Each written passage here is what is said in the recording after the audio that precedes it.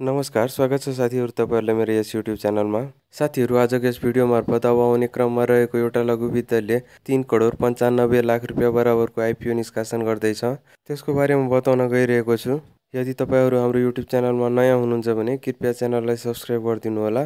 साथीहरू सिवाइसी नेपाल लघु वित्तले तिन लाख पन्चानब्बे हजार तिन सय छत्तिस किता आइपिओ निष्कासन गर्ने भएको छ। आइपिओ निष्कासन गर्नको लागि यस लघुविद्याले आफ्नो सम्पूर्ण कागजात कामहरू सकाएर नेपाल धितोपत्र बोर्डबाट एप्रुभल पनि पाइसकेको छ। अब उपकार लघुविद्यापछि यस लघुविद्याले आइपिओ निष्कासन गर्नेछ। यस लघुविद्याले रु एक सय रुपियाँ अङ्कित मूल्यको तिन करोड पन्चानब्बे लाख रुपियाँ बराबरको तिन लाख पन्चानब्बे हजार तिन सय छत्तिस किता आइपिओ निष्कासन गर्दैछ। यस लघुवित्तले ग्लोबल आइमी क्यापिटल लिमिटेडलाई आफ्नो इस्यु म्यानेजरको रूपमा नियुक्त गरेको छ। केयर रेटिङ नेपालले यसलाई care NP double B minus rating प्रदान गरेको छ जसले यस कम्पनीको वित्तीय दायित्व पुरा गर्ने सम्बन्धमा मध्यम जोखिम रहेको सङ्केत गर्दछ।